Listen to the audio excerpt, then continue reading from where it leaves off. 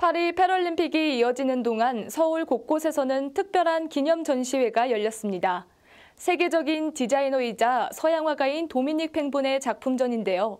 이 전시는 올림픽의 의미를 넘어 국내의 지역 경제 활성화까지 의미를 더하고 있습니다. 현장의 목소리를 담아왔습니다.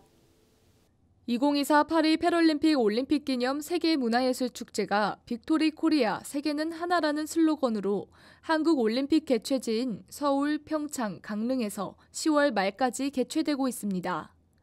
한국 입양인의 아버지인 도미닉 팽본 등 한국이 낳은 세계적인 아티스트들의 패럴림픽 올림픽 그림들과 사랑, 화합, 평화 등 패럴림픽 올림픽 정신을 담은 그림들이 전시됩니다. 우리들의 에, 중소상공인들과 그리고 이 멋진 에, 그림을 그리시고 작품을 만들어 주신 아티스트 분들께도 감사와 응원의 말씀 올리겠습니다. 고맙습니다. 우리 올림픽 지역이 여러분들 아십니까? 올림픽 하고 나면 유령화되는 경우들이 많이 있어요. 근데 지금 평창 같은 경우는 너무나 많이 죽었고 상권이 그리고 지금 인구 소멸까지 해서 어려운 위기를 맛보고 있습니다.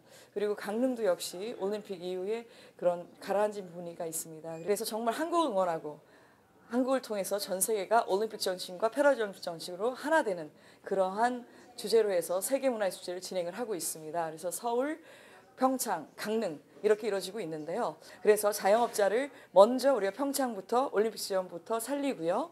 강릉, 평창, 그다음에 서울에 있는 자영업자분들 그리고 우리가 또 이어서 아, 정말 전국의 자영업자들 같이 살리는 걸 진행하려고 하는데 국민 여러분들 함께 동참해 주시고 같이 응원을 외쳐 주시기 바랍니다.